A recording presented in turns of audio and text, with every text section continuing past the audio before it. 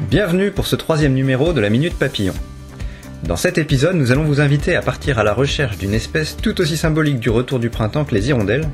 Il s'agit du papillon qu'on appelle l'aurore. Comme chez la plupart des espèces de la famille des pierrides, la couleur de fond de cet insecte est plutôt blanche. Mais le mâle est absolument impossible à confondre avec autre chose, car il a la pointe des ailes orange fluo, et il se remarque de très très loin. Chez la femelle, c'est un petit peu plus compliqué. Le orange est remplacé par une fine bande noire, et c'est au revers des ailes qu'on verra le signe caractéristique qui permet de reconnaître ce papillon, des marbrures vertes que les pierrides les plus courantes n'ont pas.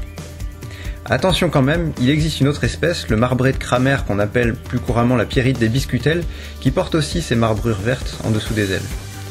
Il faudra donc vérifier si dans la pointe noire du dessus de l'aile il y a des petites taches blanches ou pas.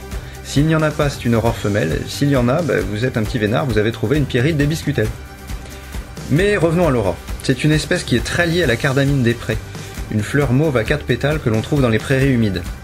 Mais il arrive parfois aussi aux femelles de pondre sur d'autres crucifères comme l'alière officinale, ou plus marginalement dans les jardins sur la monnaie du pape. Voilà, vous savez tout désormais, à vous de jouer. Et surtout, si vous observez des papillons en brière, entrez dans la démarche, partagez vos observations avec nous à l'adresse abc-parc-naturel-brière.fr ou rejoignez-nous sur le groupe Facebook Tous aux papillons en brière. À très bientôt